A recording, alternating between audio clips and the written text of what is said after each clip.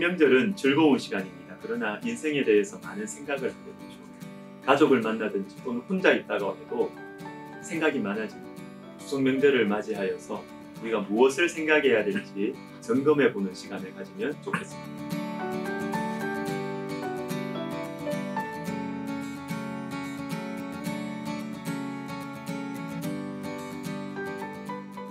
시편 94편 8절을 읽어드리겠습니다. 백성 중에 어리석은 자들아 너희는 생각하라. 무지한 자들아 너희가 언제나 지혜로울까? 성경에는 생각하라, 생각하라는 말씀이 자주 나옵니다. 생각하라는 것은 잠시 멈추어서라는 것입니다. 내 마음대로 살지 말라는 것입니다. 그리고 하나님의 말씀을 붙들고 살라는 것입니다. 생각하라. 여러분 이 말씀에는 우리를 살리시려는 주님의 안타까움이 들어 있습니다. 먼저 오늘 본문 10편 94편 8절에서는 어리석은 자들아 생각하라고 하십니다. 생각하지 않으면 어리석게 된다는 것이죠. 그러면 무엇을 생각해야 할까요? 이 말씀의 앞과 뒤에 있는 몇 구절을 보면 알 수 있습니다. 3절을 보십시오. 여호와여 악인이 언제까지 악인이 언제까지 개가를 부르리까 4절 그들이 마구 짓거리며 오만하게 떠들며 죄악을 행하는 자들이 다 자만하나이다. 그리고 5절입니다. 여호와여 그들이 주의 백성을 짓밟으며 주의 소유를 곤고하게 하며 6절 과부와 나그네를 죽이며 고아들을 살해하며 자 악인들이 있습니다. 주님의 백성들을 괴롭히는 악인들이 있어요.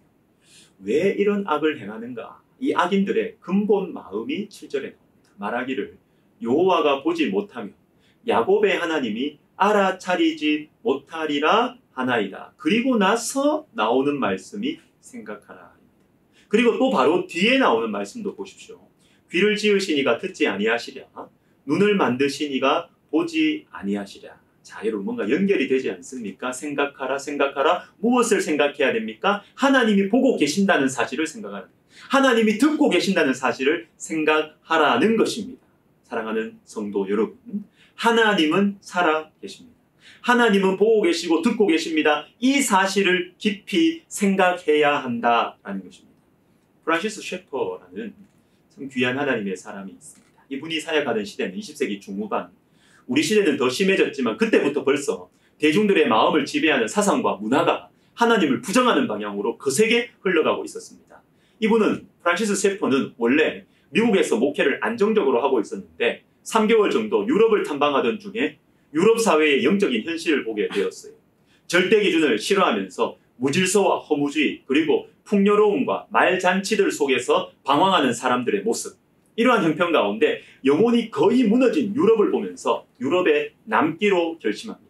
여러분 절대 기준은 성경에서 비롯된 것입니다. 그래서 하나님을 멸시하는 사람들이 교회를 공격하는 핵심 이유가 여기에 있습니다. 성경의 권위를 무너뜨리기 위해서 교회를 공격합 물론 교회가 잘못한 것들도 많지요. 그러나 그것보다 훨씬 더 깊숙이 뿌리 박혀 있는 사단의 전략은 전략은 거짓으로 꾸며진 무책임하고 자기 파괴적인 자유를 위해서 절대 기준 성경의 권위를 무너뜨리려고 하는 것입니다. 성경이 절대 기준의 뿌리인 이 성경을 가르치고 외치는 교회를 공격하는 이유가 바로 그것입니다.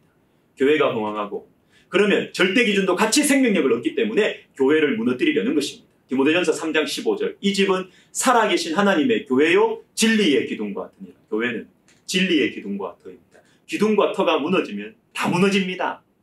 프란시스 셰퍼 박사는 유럽 사람들의 눈빛에서 절대 기준인 하나님의 말씀을 멀리한 비참한 결과를 발견했습니다.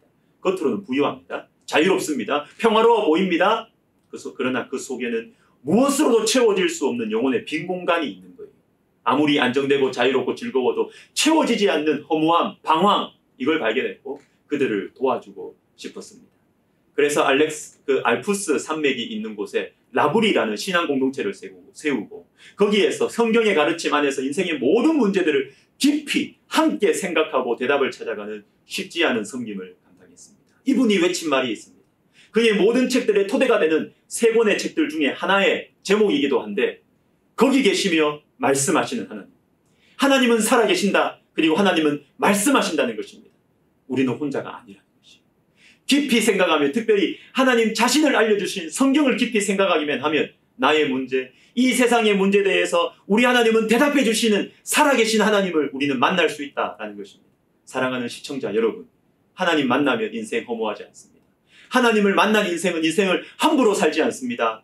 하나님께서 대답해 주시는 인생이고 하나님께서 가까이 해주시는 인생이고 그 아들 예수 그리스도의 피값으로 사신 인생인데 어떻게 우리가 함부로 살 수 있겠어요? 사랑하는 성도 여러분 생각해야 됩니다. 깊이 생각해야 됩니다. 하나님은 살아계십니다. 말씀하십니다. 성령 충만함도 생각하는 것과 밀접하게 연결되어 있습니다. 우리는 보통 성령 충만함이라고 하면 생각하지 않는 사람들, 생각하는 대신에 무조건 열정만 내세우는 사람들을 떠올리는 경향이 있는데 아닙니다. 에베소서 5장의 몇 구절을 보겠습니다. 15절. 그런즉 너희가 어떻게 행할지를 자세히 주의하여 그러므로 어리석은 자가 되지 말고 오직 주의 뜻이 무엇인지 이해하라 술 취하지 말라 이는 방탕한 것이니 성령으로 충만함을 받으라. 자, 자세히 주의하여 그리고 이해하라 굉장히 강한 표현이거든요. 대충 넘기지 말고 깊이 생각하라는 것입니다. 그리고 나서 이어져서 바로 이어서 나오는 말씀이 뭐냐면 술 취하지 말고 성령의 충만함을 받으라입니다. 여러분 성령 충만함은 깊이 생각하는 것과 밀접하게 연결되어 있습니다. 성령 충만함이 무엇이냐 하면 주의 뜻이 무엇인지 그것에 따라서 어떻게 살아야 할지를 깊이 생각하는 것이 성령 충만합니다. 여러분 그러면 술 취하는 것은 무엇일까요? 말 그대로 알코올, 술에 취하는 것을 의미하기도 하고 문맥 안에서 좀 더 깊이 해석하면 깊이 생각하지 않는 것이 술 취하는 거예요. 주의 뜻을 깊이 생각하지 않고 내 마음대로 내 상황에 따라서 생각하고 행동하고 말하는 것이 술 취하는 것입니다. 나중에 좀 더 늙으면 나도 큰 병에 걸리면 예수님 찾겠지, 기도하겠지, 말씀 보겠지. 지금은 귀찮다. 지금 재밌는 것이 많으니까. 말씀 보고 기도하는 거 귀찮다. 여러분, 이게 바로 술 취하는 것입니다. 깊이 생각하셔야 됩니다. 사랑하는 여러분, 깊이 생각하셔야 됩니다.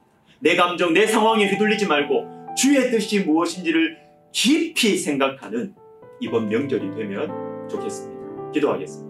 하나님 아버지, 주님의 말씀을 깊이 생각하여 무엇이 지혜로운 것인지, 무엇이 의미 있는 인생인지 생각하고 마음에 새기는 이번 추석 명절 되게 하여 주옵소서. 예수님의 이름으로 기도하옵나이다. 아멘.